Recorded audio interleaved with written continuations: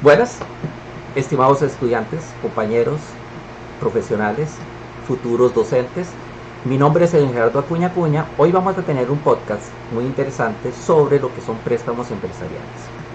Eh, los titulamos, con los compañeros del grupo, lo titulamos como Hagamos equipo para la salud financiera empresarial. Préstamos personales y préstamos empresariales. Durante esta media hora vamos a analizar varios casos de identidades, tanto privadas como públicas, en aspectos de cuáles son las tramitologías para desarrollar un préstamo personal. Durante la agenda que vamos a tener en este podcast, lo vamos a dividir en cinco pasos. el primer paso de la agenda es ¿para qué un financiamiento? Eso es muy importante tener una noción. Antes de yo pedir un préstamo dentro para mi organización, es saber para qué la necesito. El otro, cuáles son las necesidades de la empresa que se busca para este tipo de, préstamo. Es otro punto de referencia importantísimo en cualquier proceso que involucre un financiamiento externo.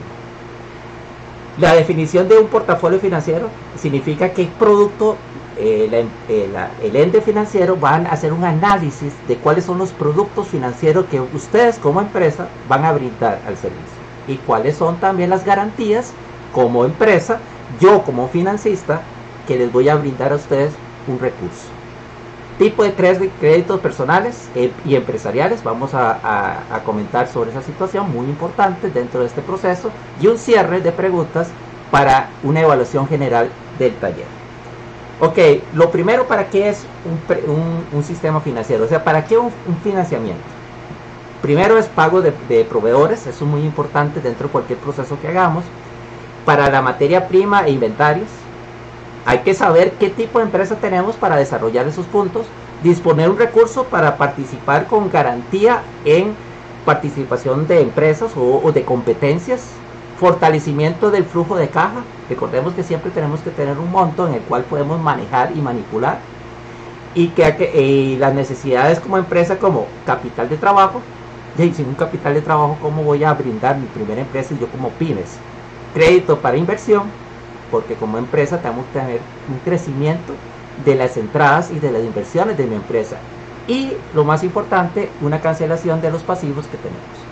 Una de las preguntas más comunes que nos hacen como analista financiero es sobre el concepto de préstamos personales. Por eso, hoy vamos a tener, eh, tenemos el agrado de tener o contar con nosotros con un gran especialista en el área financiera, don Mauricio Brenes, de Copeande, que hoy nos va a dar una charla o, va a buscar un contexto de cómo yo, como, educador, puedo sacar un préstamo eh, en, Copeande. Entonces, don Mauricio, buenas noches. Qué dicha que estamos aquí en una conexión eh, en directo. Eh, te voy a dar mi caso. Vieras que yo soy profesor del Colegio Agropecuario de Nicoya, soy profesor de matemática, ya con el Ministerio de Educación Pública tengo casi 16 años estar con una plaza como docente del área matemática en el colegio agropecuario con 48 lecciones. Eh, y me gustaría irme a vacunar a los Estados Unidos con, esta, con este préstamo que ustedes están haciendo, con un concepto de ir a vacunarse, donde paga avión, donde paga eh, eh, estadía y donde pago también la vacunación. ¿Cuáles son los requisitos, don Mauricio? ¿Nos puede facilitar? O cuáles son, o qué necesito yo para, que ustedes me brinden ese préstamo, o cuáles son los pasos.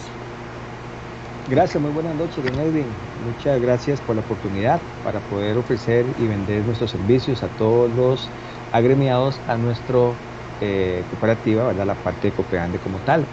Efectivamente, don Edwin, compañeros y compañeras, efectivamente, como toda entidad crediticia, también estamos brindando este tipo de préstamo. Lo importante que tenemos que partir es que usted tiene 14 eh, años ya en el, sistema educativo y tiene plaza fija, eso es muy importante. No así, no significa que las personas que no tengan plaza fija también no pueden aspirar por este préstamo.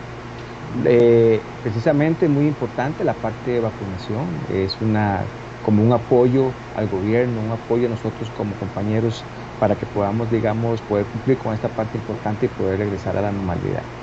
Con respecto a nuestros créditos, es importante que estamos solventando una necesidad.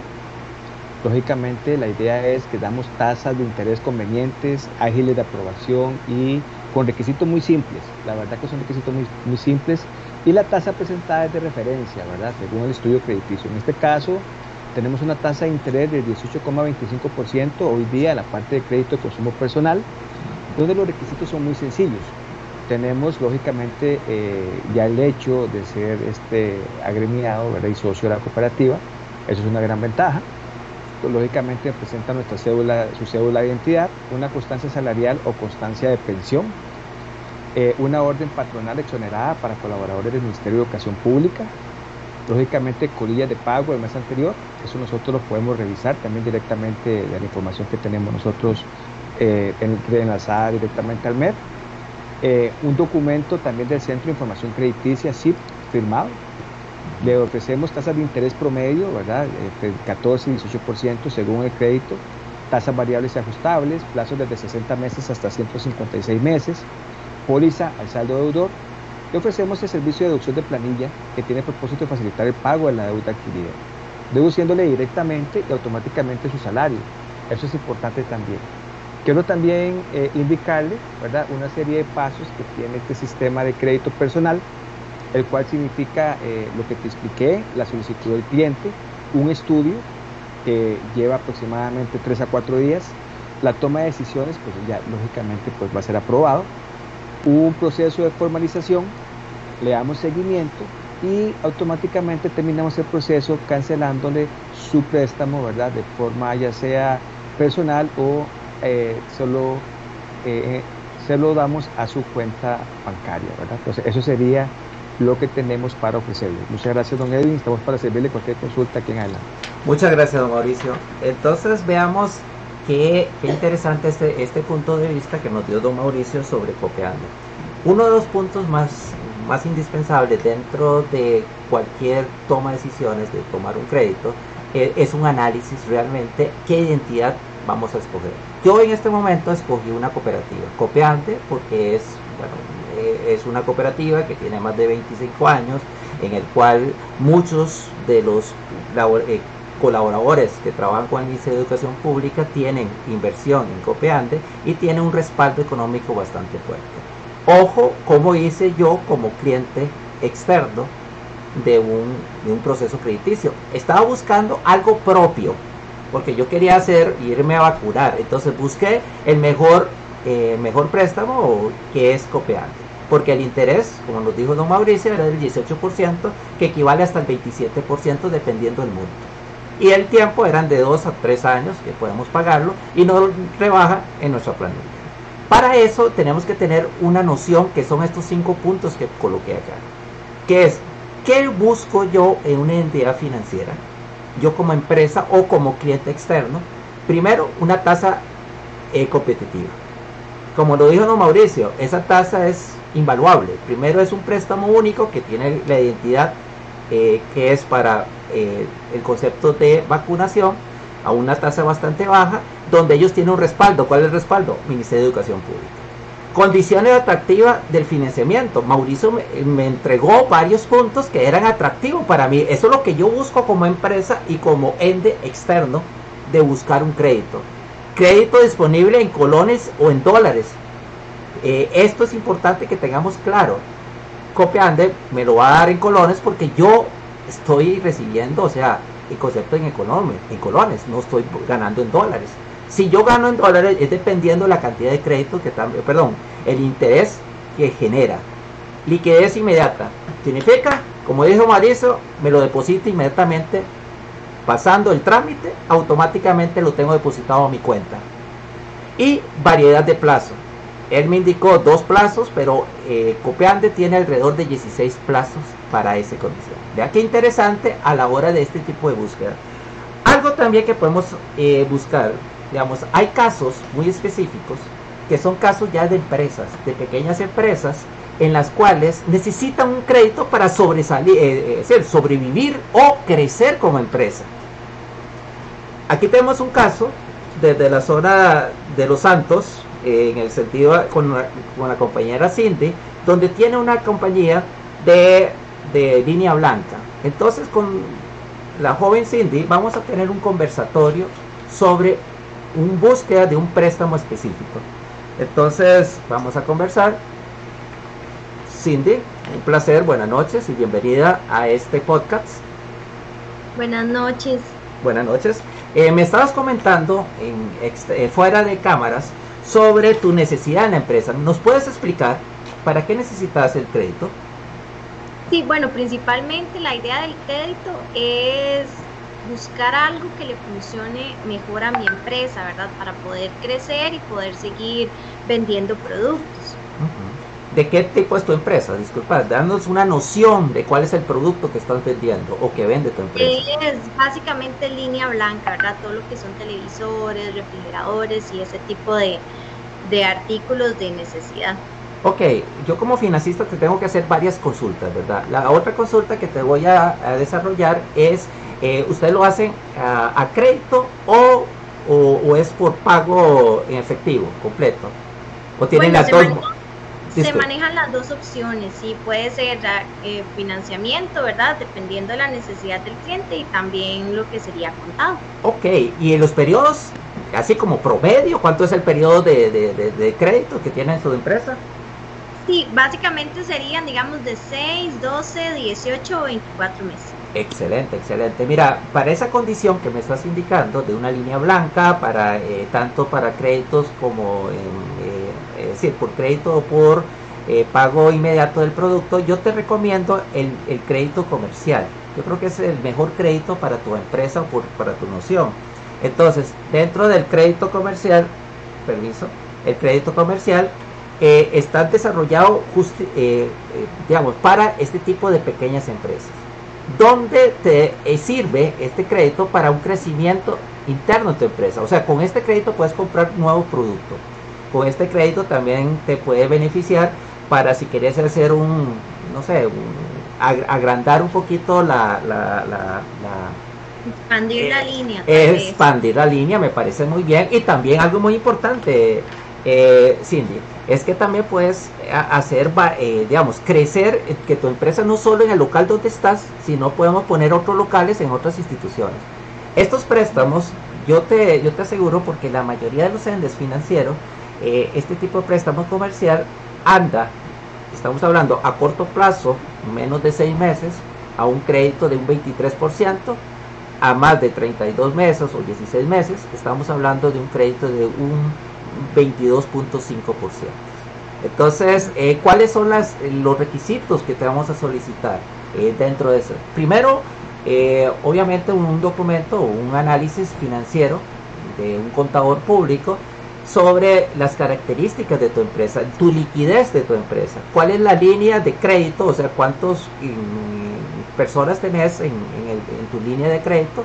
Y lo más importante es si puedes hacerlo también un préstamo sobre, mm, eh, sobre local. Podemos también brindarte el crédito, pero sobre ponerte una, se me fue la palabra, eh, que quede respaldando tu local o tus productos. Entonces yo creo que el mejor que te sirve en este momento es un crédito comercial. Te lo puede generar tanto el Banco Nacionales como el Banco Nacional de Costa Rica. Una vez que se presentan, digamos, los documentos, básicamente que tarda un par de meses o no es, casi es inmediato recordemos que todos los, los, los, enlaces que tiene nuestro nuestro sistema financiero te hace un análisis relativamente muy rápido y estamos hablando de en 15 días ya te estamos generando el préstamo. Eh, te recomiendo siempre este tipo de préstamos en colones, siempre una moneda local, por el sentido de que el desvalúo también, recordemos que estamos pasando en momentos difíciles Costa Rica, entonces hay un, un tipo de cambio bastante anormal. Y como recibís en colones, entonces te recomiendo siempre en, en, colones.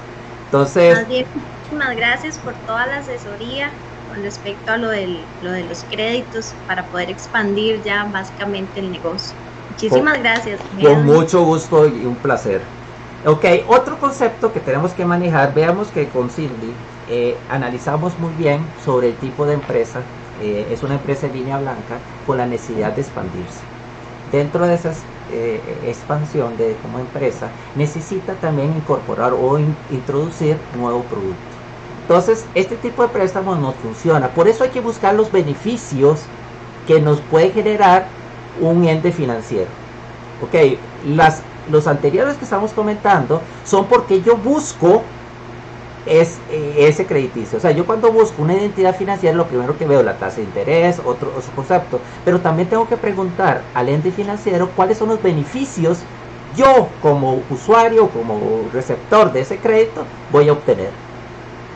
Algo muy importante que le falta mucho en las pymes de Costa Rica es una, una, una asesoría personalizada a través de ejecutivos tanto financieros como económicos o de mercado. Porque no es solo que yo te preste, porque eso lo hace todo el mundo, sino que te dé una, una asesoría completa sobre conceptos financieros, que eso es indispensable. Las identidades ahora están apoyando. ¿Por qué? Porque hay un alto endeudamiento dentro de las organizaciones financieras. Entonces, para evitar yo tener que cobrar, mejor asesoro previamente. Entonces, es un beneficio que están haciendo las entes financieras. Una asesoría eh, también, un aporte de las empresas en capacitaciones, participación en ferias, las entes empresariales eh, como Cindy, podemos eh, invitarlas a ferias de electrodoméstico, podemos invitarlas también a hacer algunos convenios internacionales en el cual ella puede desarrollar. Esto lo están haciendo ahorita los entes eh, financieros. Facilidades de garantías. Como le dije a Cindy, bueno, hay varios conceptos de garantías, varios conceptos de respaldo dentro de los entes financieros. Los plazos flexibles, según las necesidades. Siempre, toda identidad financiera te va a dar los plazos flexibles. ¿Por qué? Eso me lo está limitando también lo que es la usura, la ley de la usura, ¿verdad? Que eso también es un beneficio en el cual ya como ente financiero no puedo cobrar lo que me dé la gana, no, tiene un proceso en el cual. Y la tasa de interés accesible. Siempre la tasa de interés es lo más importante que tenemos que desarrollar. Eh, para eso eh, vamos a tener otro ente muy interesante. Costa Rica ha tenido muchos cambios y uno de los cambios de las eh, digamos, sectores más lastimados que tiene América Latina y el mundo es la parte agronómica, digamos, la parte agrícola, la parte ganadera, la, la parte pecuaria. Para eso tenemos un caso muy específico de la zona de Limón eh, con el ingeniero Mauricio eh, Mauricio Brenes, en el cual nos va a, analizar o interpretar el caso específico de él. Don Mauricio, bienvenidos a, esta, a este podcast en el cual vamos a buscar soluciones. Don Mauricio, usted me estaba comentando que tiene una empresa pecuaria, ¿verdad? Eh, porcícola. ¿De qué se dedica su empresa, don Mauricio? Sí, gracias. Buenas noches, don Edwin, por la oportunidad. Básicamente le cuento de qué trata la empresa y un poquito de historia. Pues desde niño, obviamente, mi padre matábamos cerdo, ¿verdad? Y vi que era un negocio importante a la hora de eh, producir y este, criar, producir, ¿verdad? Eh, y destazar los cerdos para, para hacer una microempresa y mediana empresa. Sucede que hoy día he revisado información y sé que China, como un, un, digamos, consumidor grande a nivel mundial de carne de cerdo de primera calidad, Costa Rica ya en su momento hizo su primera exportación a China. Entonces lo que queremos es, es eh, aprovechar ese mercado, ¿verdad? Donde el cual este, ya, por ejemplo, eh, una empresa, Carne Zamora, hizo la primera exportación y queremos emular ese tipo de negocio para exportar a China, donde el cual eh, inclusive en 35 días, por ejemplo, el, el, volumen de exportación anda en 3 millones de kilos en el primer año. Imagínense la gran cantidad de oportunidad de negocio que hay.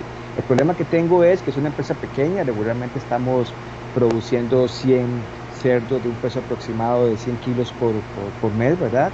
y la idea es llegar a crecer tal vez un 30, 40%, en un, 200, 300% más para poder tener la oportunidad. El problema es que es una granja pequeña donde necesito un préstamo eh, para, para, una empresa agropecuaria, en este caso porcina, donde este, pueda tener algún tipo de, beneficios en tasas de interés, eh, en, tiempos de, préstamos para, para mi empresa. La verdad que estamos ubicados en Guapiles y eh, la idea es mejorar todo el sistema desde las porterizas, alimentación, la parte científica, para poder tener una oportunidad de negocio importante.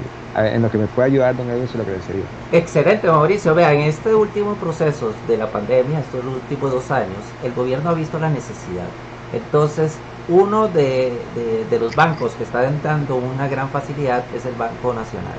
Entonces, tan así que la República dio un reportaje sobre esta situación, pero eh, el que te voy a ofrecer ahorita, ahorita, que creo que es el que te resulta primordial en tu proceso, es el crédito agroindustrial y agropecuario.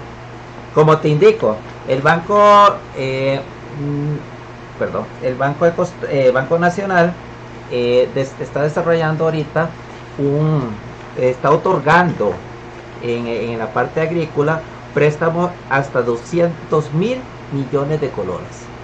Algo importante eh, eh, que tenemos que tener en cuenta, una referencia, que el gobierno te está dando, eh, llamemos un tiempo de plazo para que te acomodes, Mauricio. Yo creo que eso es muy interesante. O sea, el gobierno lo que está incorporando ahorita es un tiempo de, de gracia por la situación que está pasando.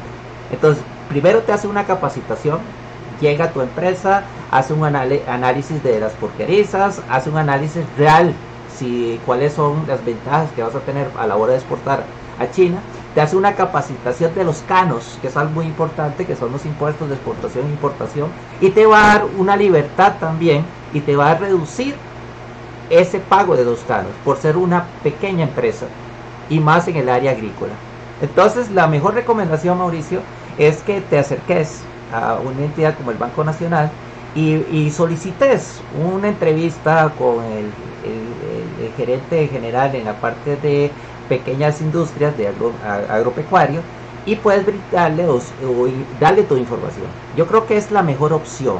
Nuevamente, Mauricio, si necesitas, eh, te recomiendo que todos tus montos sean en colones, porque el interés, aunque el interés en dólares es más bajo, pero tus entradas van a ser en colones. Puedes decir, voy a exportar a China, pero la mayoría de tus procesos de, traslado, el proceso de pago de personal, el proceso de compra de materiales, el proceso de compra de, de, productos para eh, veterinarios, para tus, tus cerdos, eh, lo vas a hacer en trámites pues, eh, de colones. Entonces, como siempre digo, vivimos en Costa Rica, aunque estemos un país casi dolarizado, es mejor siempre manejar el, peso que ahorita está con un buen, un buen nivel. Entonces no sé si te funcionó, te sirve la, recomendación Mauricio, pero sería bueno que pasaras. Excelente, muchas gracias don Edwin. Este, uno pensaría que si recibe verdad eh, eh, la plata de, de, exportación en dólares, conseguir un préstamo en dólares, pero en realidad sí tiene razón. O sea, muchos de los insumos, materia prima y todo lo demás tiene que ver directamente en colones, pago de mano de obra, y eso pues ayuda directamente a que, uno piense bien, ¿verdad? El préstamo en colones. En realidad, muchas gracias, Mauricio. Con mucho gusto, Mauricio. Eh, vean los beneficios en estos casos, en estos aspectos que estamos trabajando, es eh, uno tiene que pensar bien, bien, bien, bien cuando nos, buscamos, nos decimos un tipo de crédito específico. Los analistas, como en mi caso, nada más les damos una recomendación, porque al final lo que estamos oyendo es una idea, un, comentario, una, una noción de crecimiento. Entonces yo como especialista yo les busco algunos conceptos de solución, pero ustedes son los analistas que deberían es investigar más, caminar como se dice. Yo para comprar una condición yo tengo que caminar y, buscar qué me genera el mejor crédito. Para eso vamos a hablar sobre las pymes, muy, muy, muy lastimadas hoy en día con esto de la pandemia. Eh, un problema de las pymes es que muchos de los eh, analistas o de los dueños de las pymes son eh, personas que no tienen conocimiento del área financiera. O sea, vea qué peligroso, no tiene conocimiento del área financiera, pero tuvieron una idea y tuvieron una noción de crecimiento y lograron ese crecimiento. Entonces, aquí hay que ser, sentarse con este, con este grupo y comentarle y oírlos y capacitarlos y llevar un seguimiento diario, ojalá un seguimiento mensual sobre, eh, sobre su crecimiento como empresa. Para esta ocasión tenemos a eh, Gilberto, que es un, un profesional en el cual decidió eh, eh, lanzarse en una, en una pymes eh, que ahorita nos quiere comentar. Don Alberto, eh, nuevamente muchas gracias. Bienvenido a este podcast académico en el cual no estamos discutiendo, sino estamos buscando posibles soluciones. ¿Nos puede comentar de qué se trata tu empresa? Buenas noches, don Edwin, y gracias por, por el espacio. La empresa que nosotros tenemos está ubicada en Guadalupe, tenemos 16 años de operar. Este, trabajamos con una cartera de clientes de 283 juntas de educación y juntas administrativas de centros educativos públicos del Ministerio de Educación de Costa Rica. Nosotros ofrecemos dos tipos de soluciones actualmente. Tenemos una división que se encarga de todo lo que es equipo tecnológico, dispositivos, tablet, eh, control de ingreso del reloj, digamos, nosotros los instalamos, también vendemos el control de rondas para los agentes de seguridad. Esa es una división que ya está operando y tenemos toda esta cartera de clientes. Y también tenemos una fábrica de muebles que está ubicada en Concepción de Tres Ríos, pero las oficinas y el centro de operaciones es en Guadalupe, en el edificio propio. Nosotros ahí pues fabricamos pupitres, hacemos escritorios, muebles y también a las mismas juntas administrativas les ofrecemos acondicionar aulas y las oficinas de, de todo el personal. Ahora, nosotros estamos interesados en saber cuáles son los requisitos para un préstamo porque queremos tener ahora una tercera línea. Pero como la economía está un poco contraída y está un poco difícil hacer nuevos clientes, queremos utilizar la misma base de clientes que ya existe. Entonces queremos ofrecerle a las juntas administrativas la asesoría financiera en el sentido de que nosotros propiamente no tenemos el conocimiento de la asesoría financiera como usted muy bien lo señalaba, pero sí la capacidad de subcontratar contadores y lo que nosotros vamos a hacer es venderles a las juntas administrativas el servicio de contabilidad para que le lleven la contabilidad a cada junta. Nosotros queremos participar de todos los procesos de licitación de estas 283 juntas y poder mes a mes este, pues facturar. Tenemos, digamos, la ventaja de que las juntas administrativas reciben pues diferentes fuentes de financiamiento estatales, entonces tenemos en cierta forma hay garantía de que vamos a recibir y recuperar la inversión, pero queremos saber qué requisitos tenemos que cumplir para que nos den un préstamo. Ok, eh, don Alberto, eh, excelente, excelente. O sea, lo primero que yo te voy a indicar es que te acerques a, al MAKE que es el encargado, eh, perdón, un momentito, eh, el mejor crédito que te sirve es el crédito para local y bodega y oficina. Eso estamos hablando de, eh, de, microempresas o estamos hablando de pymes. el mejor ende que te va a generar eso y son los encargados a nivel país es el, el, el, el MEC. El MEC es el Ministerio de Economía, Industria y Comercio. Ellos tienen ahorita un, te va a garantizar un saldo de casi 70 mil millones de colones que lo está generando el Banco de Costa Rica. Aquí yo te estoy dando, eh, se ve un poquito pequeño, pero te voy a ampliar. En este caso, ¿cuáles son los eh, el, eh, producto? O sea, estamos hablando que te puede servir para la compra de equipo y lo más, lo más importante que tiene el MEC, que te va a llevar un asesor, un asesor empresarial a tu propia empresa en el cual te va a llevar un seguimiento de tu cuenta, paso por paso. Entonces, eh, eh, invito a todos los posibles de pequeñas y grandes empresas entrar al MEC. Ellos tienen unos, mm, unos planes y se están basando mucho lo que es el Banco Popular. Recordemos que la plantilla del Banco Popular es muy amplio, en el cual hay mucho dinero para este tipo de, de préstamos para pequeñas empresas. Entonces, eh, don Herbert, eh, Herberto, perdón, eh, creo que sería la mejor opción por en este momento. Entonces, no sé si te funcionó, pero si no, ahí te podemos facilitar más adelante algunas líneas de crédito que te, pueden funcionar. Muchas gracias, don Edwin. Con muchísimo gusto. Con mucho gusto. Bueno, nos falta poco tiempo, pero lo vamos a lograr. podemos lograrlo porque tenemos dos casos muy importantes. El primer caso que tenemos, el segundo caso es sobre exportaciones. Para eso tenemos la señorita Natalia, en la cual eh, tiene una inquietud. Ella es caficultora, de la zona de los Santos y hace poco ganó un premio. Hay que felicitar a Natalia porque ganó un premio de uno de los mejores cafés a nivel internacional en España. Pero Natalia tiene un problema. Ahorita tiene un, está muy nerviosa por una situación que tiene que pasar. ¿Cuál es? tiene que viajar a Europa y necesita urgentemente un préstamo. Entonces, Natalia, eh, bienvenida nuevamente a este programa, que vamos a hacerlo muy corto por, por sentido de tiempo y nuestros compañeros mm, tenemos que manejar lo que es el concepto de tiempo. Entonces, Natalia, cuéntanos un poquito qué es tu caso de tu empresa.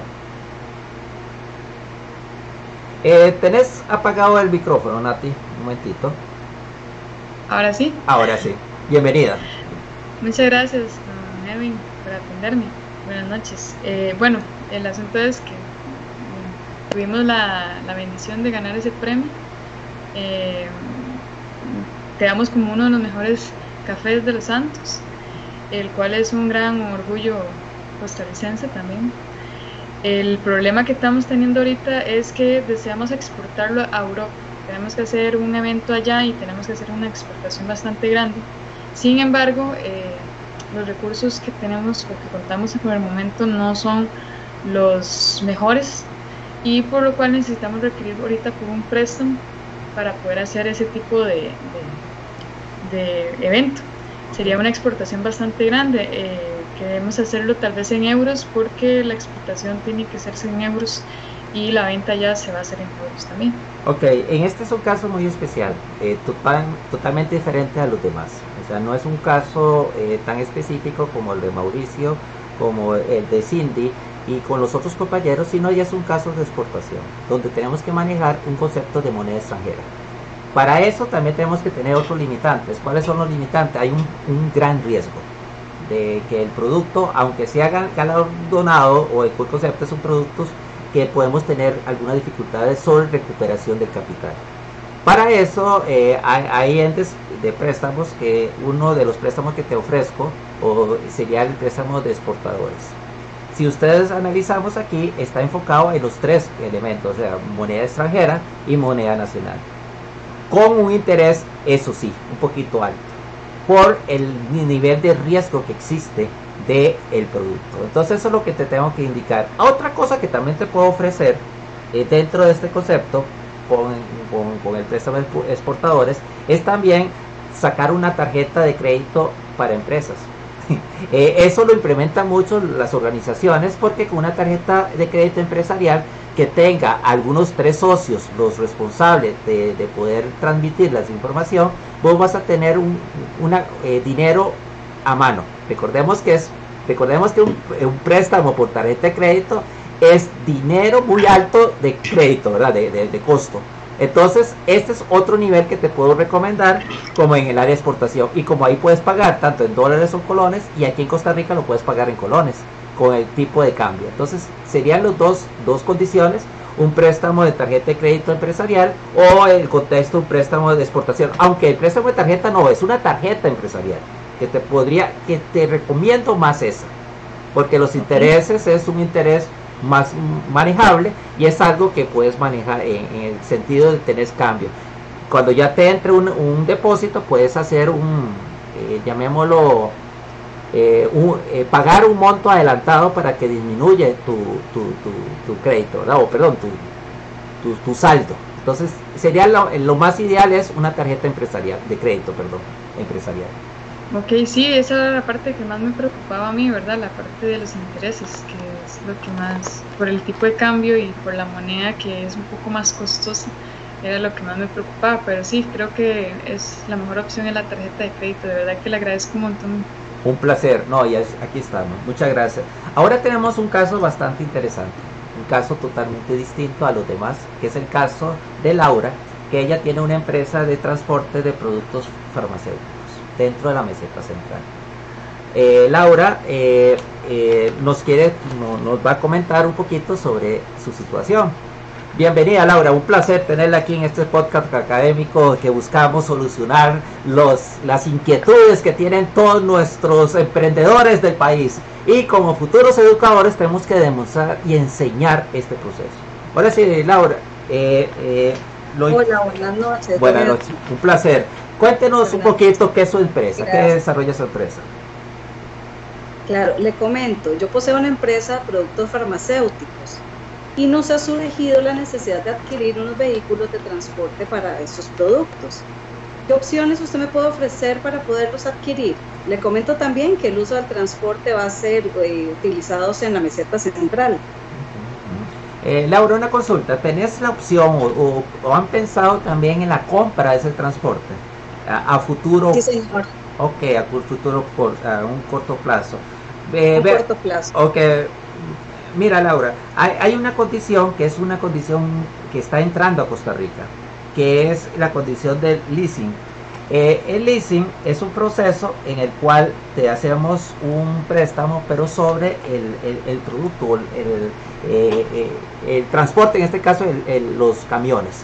Entonces el leasing es yo como, como empresa o como banco, como ente financiero, yo compro el producto y te lo arriendo durante un tiempo, pero con la opción de que vos tenés la noción de comprarlo. Ese, eh, te lo estoy prestando, pero ese préstamo o ese, o, ese alquiler del proceso va a ser un determinado tiempo a un determinado interés, ¿verdad? Pero te va a salir más barato que estar pagándolo de un solo. Entonces yo creo que es uno de los crediticios que te pueden te puede funcionar, porque si te hago un préstamo personal o un préstamo empresarial, lo que vas a tener que hacer es comprar el producto inmediatamente. Entonces el problema de la compra del producto inmediatamente significa que si tienes alguna restricción y ya no ocupas dos camiones sino uno, entonces vas a tener ese problema. Entonces ya con el ente, con el leasing, con el ente financiero, puedes tener un trámite de, opción de cambio, un trámite de opción de compra. Entonces yo creo que el leasing es como el más, la opción más real que te va a servir a, a vos como empresario. Entonces te, insto a que eh, participes tanto en el BAC San José, que es uno de los pocos bancos de Costa Rica que genera ese, ese tipo de crédito. Entonces, no sé, no sé si te funcionó. Me parece muy bien, sí, muchísimas gracias, voy a acercarme entonces. muchísimas gracias. Eh, gracias. Ah, por el tiempo eh, tenemos que cortar, obvio, que necesitamos ojalá evacuar todas las posibles dudas y tener casos específicos. Pero quisimos hacer este tipo de, trabajo para que nosotros tengamos una noción real, porque realmente cuando uno está en la parte financiera y no tiene conocimiento financiero, es un gran problema y a uno le dan pánico. Pero lo más fácil, hay muchos asesores como nosotros que brindamos este tipo de condiciones. Para cerrar, eh, sería bueno tener unas reflexiones.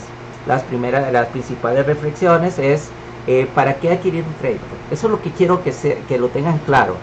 La gente cree que un crédito es un dinero que yo tengo. No, no, no, no. Es un dinero caro que voy a adquirir para una necesidad. Dinero caro. Y ese dinero caro tengo que devolverlo. Entonces, ¿qué tengo que tener claro? La actividad empresarial que tengo que tener. Eso es indispensable en cualquier concepto de, a nivel financiero. Segundo, reflexionar para qué necesito el financiamiento. ¿Qué beneficio voy a obtener mi negocio por este, eh, este financiamiento? Ojo, es un analizar, es un análisis, sentarme con la junta directiva, con mis dirigentes y indicar para qué. Conocer cuál es el tamaño de empresa. Puña, voy estoy creciendo tan rápido. Costa Rica tenemos un problema, somos cortoplacistas, queremos todo ya. Y no, no. En Japón se dura 10 años. El pensamiento de un japonés de una empresa mínimo es 100 años. Que mis nietos manipulen o manejen mi empresa. Eso es indispensable. Ok, para cerrar, es importante las identidades que apoyan a las pymes, que es importante, esas son algunas. La, Fundación Mujer ayuda ahora, tiene un, un crédito interbancarios que ayuda mucho a las emprendedoras, damas que desean generar o tener su propio negocio. Recordemos que algo muy, muy peligroso en Costa Rica es el desempleo de mujer. Yo siempre he dicho, el desempleo tiene rostro de mujer. Veamos en las aulas, la mayoría de las aulas están llenas con mujeres que quieren capacitarse. ¿Por qué? Porque sus puestos no generan, o sea, no reciben, reciben menos de lo que reciben sus compañeros hombres. Entonces, esto hay que cambiarlo. Por eso Fundación de Mujer apoya mucho al emprendedurismo femenino. Eh, y una, un concepto que ojalá lo tengamos todo en las aspiraciones. ¿Cuál es su gran idea para el próximo año? ¿Cuál es su gran idea? Y para generar esa idea, primero tengo que creérmela, buscar un financiamiento, pero analizar bien ese financiamiento que voy a desarrollar. En verdad, muchas gracias. Si tienen alguna pregunta, los compañeros del grupo la va a generar. Eh, quiero despedirme. Para mí es un placer haber participado en este podcast. Es una forma de, de llegar a una población que realmente desconoce el área de es financiero. Eh, mis experiencias han indicado que todos los días se aprende algo nuevo. Y lo más importante, ustedes como futuros eh, en el área de maestría en, administración educativa, es que, le, es que se le mete esa espinita de crecimiento. Hoy en día en Costa Rica necesitamos grandes emprendedores, necesitamos personas positivas, necesitamos eh, educadores que formen al futuro profesional de este nuevo siglo. Muchas gracias, que Dios los acompañe y nos vemos en la próxima.